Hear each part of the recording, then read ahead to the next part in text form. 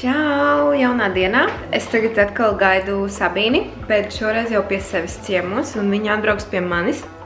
Un uh, um, izies cauri manam skapim kopā ar mani, un mēs tā kā paskatīsimies, kādas idejas varētu salikt kopā, um, kā varētu varbūt kaut ko savādāk kombinēt. Un tā, tā kā jā, es esmu diezgan um, priecīga, kad um, mēs darīsim šo. Man fonā iet, īstenībā, griežu skaņa, man fonā iet uh, Gossip Girl. Um, man, uh, es viņas esmu redzējis, es nezinu, 50 reizes. uh, labi, ne, tik bieži nē, bet es redzēju tiešām ļoti daudz reizes, bet man patīk viņu ieslēgt fonā.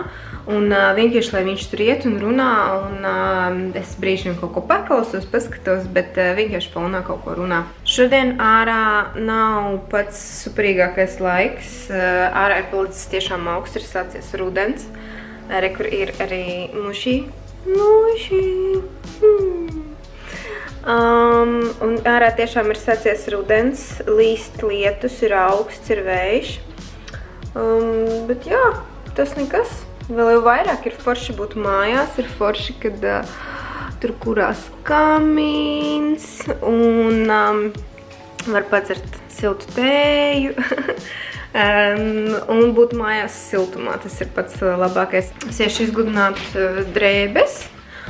Un uh, tad jau pavisam drīz klāt arī būs uh, Savīna. Plus mums arī šodien atbrauc um, nu, kopā ar Sabīnu atbrauks jauni produkti, ko mēs abas divas esam paņēmuši. Mēs abas esam frizieris.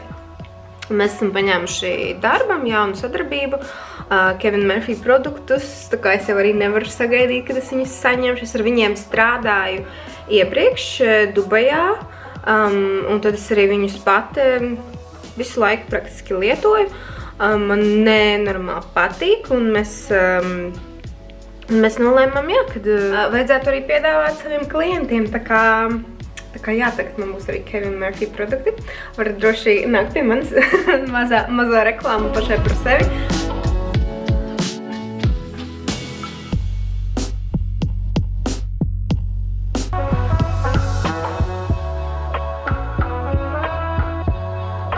Atbrauc Sabīna. Tagad taisam grāmatvedību.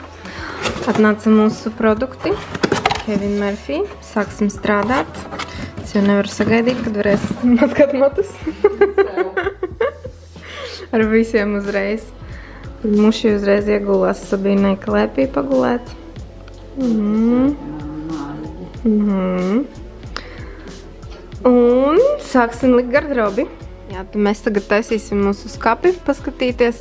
Te man ir dažādas tā kā bikses, bet jā, man nav, manuprāt, man nav daudz lietu, tāpēc, kad mēs ļoti bieži kaut kur pārbraucam, mums ļoti daudz ko pazaudē. Plus man tagad stāv Dubajā, tur ļoti daudz vasaras drēbes, bet viņas te nav. Un tad šitās es tā kā atstāju, jo man it kā viņas patīk, bet... Uh, It kā patīk, it kā nezinu. It kā, jā, it kā es jau liekas, nu varbūt jau šādu krasu mušu vairs nekad nevilkšu. Jā, es viņu tavās kāzās, es to, kad mums bija pirms kāzām, es vilku, jā.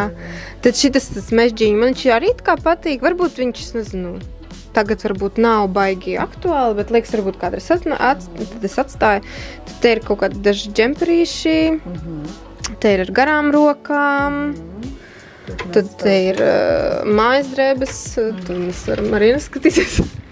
Tad ir, uh, pak, te ir, man ir, nu, kopā ar Jāni. Jā, šitie mm -hmm. visi ir mani. Arī, jā. Maicinis, maicinis, krekuņā, kur tev ir siltie džemperi. Jā, tur ir džemperi. Tas tavs? Jā, visi, visi šitas viss ir mm tur apakšā tikai tad jau jāņa. Un es tev vēl parādīšu, vēl arī otrajā pusē ir Jā, bišķiņ. arī nav baigi. Tā, tad man ir vēl te, te, te. Jā, līdz šitam Aha. te arī. Un tad te ir vēl kaut kādas kur, somas, Aha. tur ir zābaki. Mhm. Nu, jā, no apēm man nav baigi traki daudz. Ir šitie zābaki, tad vēl tie garie zābaki. Tad, um, kas? Ērtas? Īstenībā, jā. O, oh, jā. es pat nepadomāju. Ka vasarā jāsagaida. Jā. Jā. Jā, es vispār pat neiedomājos uzreiz. Jā, šitām vispār ideāls variants. Jā. Bet nu vasaras nav. Jā. Tā, nu ko es domāju, ar ko mēs varam sākt? Es tā par žaketu tev vienkārši vismaz paskatīties. Jā, jā, jā, visu var paskatīties, izņemt, saprast, kas ar mani notiek. Runā. Jā? Nu, muši jā, Es domāju, ka noteikti. jāpaliko. Davai Un re, un beigās ja tu- būs arī ko vilkt. Nu, ja tu nezinātu, ko to klētu uzvilkt, tad varbūt pamēģināsim to klētu uzreiz. Būs bišķiņ bardaks. Nē, nekas viss kārtībā, es gatavojos. Bet rozā, jā, ar oļu ideāli. Vienkārši uzreiz. Tev vai vēl?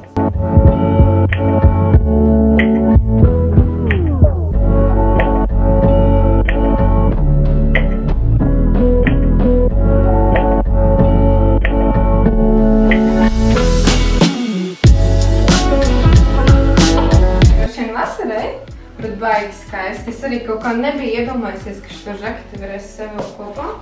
Tās kurpes, tās krāsas ļoti, ļoti, ļoti, ļoti forši sajiet kopā. Tā, nu ko, mums ir otrais komplekts ar to pašu klētu. Mēs skatāmies, kā var saskaņot arī uh, rudenī. Un pieņemsim kaut kur iziet ārā. Uz restorānu ar vīru. Jā, es, es jūtos ļoti ērti, Jā. ļoti superīgi. Un jā, mums ir arī bieza zeķe. Biezas zekļu bikses obligāti, jā. Un uh, uzreiz mētelis un vispār cita sajūta. Jā. Es jūtos tik ērti un, un, Un silti. skaisti. Un skaisti. Mums te ir trešais variants. Ar šiem svārkiem mēs to paskatīs, paskatīsimies vairākus variantus. Paņem to džemperīti, ieliec atpakaļ iekšā. Ļoti ikdienišks variants. Ja? Ļoti forši. Ļoti ērti un sievišķīgi pie tā Jā. paša laika. Un klāt mētelis mums ir. Mēteli arī baigi forši izskatās. Ja? Mēs uzlaikojām papēžu zābakus pie tā paša varianta. Ļoti tā vairāk izējamais variants sanāk. Sievišķīgās, Sievišķīga. ikdienas variants. Džinsas ar kreklu, zābaki uz papēža Mhm. un mētelis. Rudenī var iet. Jā, forši. pusdienās vai pat arī uz kādu vīna glāzīti. Mums smuki novilks mēteli nost, jā? Jā, tāds rudenīgs. jā, bet jā, baigi forši Jā. rudenīgi. Jā, šis džempers baigi labi. Mhm. Jā, un, jā, un var arī bez papēžiem. To pašu un bez papēžiem. Ar tiem šņurēm. Jā? Jā. Mhm. jā. Nu, vo, Biežāk super. droši vien būs bez papēžiem. Nu jā, bet, nu, Tik un tā forši, kad ir, kad var, nu, arī Varbūt sievišķīgās jā. Mums ir tāds dienas Šitā, variants. vai- Baigi forši, tā kā ar somu un ar zābakiem. Un tā jā. ļoti forši var iet, skriet. Mēs izdomājām, ka mums vajag melnu mēteli. Jā, melnu mēteli un džinsas. Džinsas, tās ir divas mantas, kuras mums nepieciešamas. Jā, jā, tā kā pēc šī gardrobas uh, Pārskats. pārskata mēs sapratām, ka jā, vajag džinsas. Nu, es principā to zināju, jā, džinsas Mhm. un pa augšu kaut ko. Un Jā, jo tev-. Jā, jo tev ir ļoti daudz uh, džemperīšu, blūzītes, augšņas. Ar apakšņām ir grūtāk. Jā, mums ir uzreiz jau gatava jaungada tērps. Kleita ar zābaciņiem. Jā. Ļoti skaisti. Tā kleita tāda uzreiz uh, svinīgu Stuvāk no. Jā. Jā, viņi tie fliteri ļoti skaisti mainās. Mhm, forši. Tā kā esam gatavi jaunajam gadam. Un virsū ko? Pārdomājot! Sabīna tikko aizbrauca, un es jau sāku visu mazliet kārtot un uh, vākt. Rezultāts mums ir šāds. Es jau apaustu tā kā saliku pa vietām bišķiņ.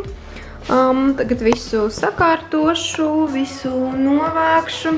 Bija baigi forši, un ir uh, forši to redzēt tā no um, stilista viedokļa un no svaigākas acis, tā kā paskatīties uz savām drēbēm, kas tiešām man jau ir skapīgi, kad brīžiem liekas, ā, tur vajag to un to, un tur kaut kas nepietiek, um, nav ko vilkt, mūžīgā problēma. Bet beigās izrādās, ka vilkt ir daudz ko. Un ir daudzas kombinācijas, ko var salikt uh, kopā. Pieņemsim vienu svārku, es neatceros, vai mēs nofilmējām vai ne, bet tādi zili gari svārki man bija, kurus es pirku kādus septiņus gadus atpakaļ. Jā, ilgi, tiešām sen atpakaļ, un uh, man tā kā likās, nu, viņi varbūt pārāk vai izejami, vai, vai nav kur uzvilkt, Un viņi vienkārši stāvēja skapī, jo man nenormāli patīk tie svārki, un es zināju, ka es viņiem negribu atvadīties. Bet es, es kaut kā viņus nezināju, ko savilkt, un te mēs savilkām ar džemperiem, un tik superīgi izskatās. Tagad es saprotu, ka tas reāli viņiem būs otrā elpes, viņas var mierīgi vilkti. Um, ikdienā, un viņas nav obligāti jāvelk uz saviesīgiem pasākumiem, bet tieši otrādi ar džemperi un ar tiem garajiem šņurējumiem zābakiem izskatās vienkārši superīgi. Un jā, tādas mazas detaļas, kas vienkārši tiešām tev liek pastīties savām lietām savādāk, um, sakombinēt savādāk, ko es nu, pat nepadomātu. Un, um, jā, stilists to visu tomēr redz kaut kā savādāk, līdz ar to ir super forši. Es noteikti ietekošu arī Sabīnas Instagram, un viņai var uzrakstīt, ja ir interese, viņa noteikti var pakonsultēt. Un tad mēs arī nonācām pie secinājuma, ka tas, kas man tiešām gardrobē pietrūks, ir um, tumšs mētelis, vai nu kaut kāds tāds bāzes mētelis un uh, tumšas bikses. Par biksēm, jā, es jau to pati nojautu, kad man viņas tiešām pietrūks, jo man ir vienmēr nereāla problēma tā kā atrast džinses, kas man patīk. Un uh, Par mētelī, nu, jā, jo augšas drēbes man nav daudz, jo tomēr mēs pēdējos 5 gadus pavadījām siltās zemēs un nebija tik daudz nepieti, nepieciešams. Jā, man kaut kādu vajag augšu, jo tomēr nāk vēsāks laiks diezgan ātri.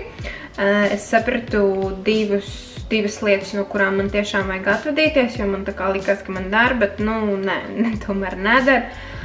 Un ir laiks atvadīties, es domāju, ielikt andalē mandalē tāds garš melns mētelis no Teda Bakera, kuru, jā, lielākoties es no viņa neatvadījos, jo man tiešām patika tā kā viņa tas klasiskais piegriezums, bet um, kādu brīdi es jau sapratu, ka viņš tā kā nedara, tad es tā kā labi notievēju, man liekas, ka viņš man dara, bet nu viņš tiešām ir plecos tāds par šauru, un es domāju, ka tādā, tādā pozīcijā, kā 20 gados es tiešām vairs nebūšu un arī varbūt pat nav vajadzīgs.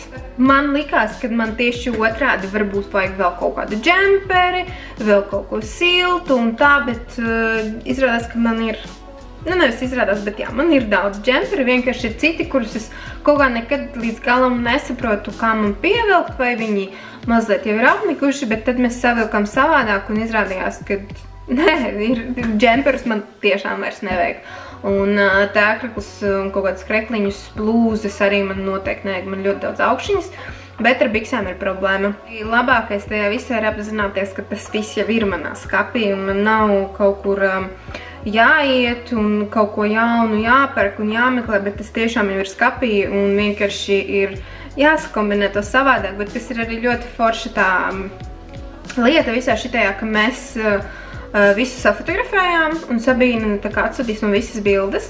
Un līdz ar to, tad, kad man ir kaut kas jāvelk, vai man trūks motivācija manās drēbēs, es vienkārši varu iziet cauri, drēb, cauri bildēm un uh, paskatīties un atcerēties un atsveidzināt savu prātu, kā tad bija, kā tad mēs uzvilkām.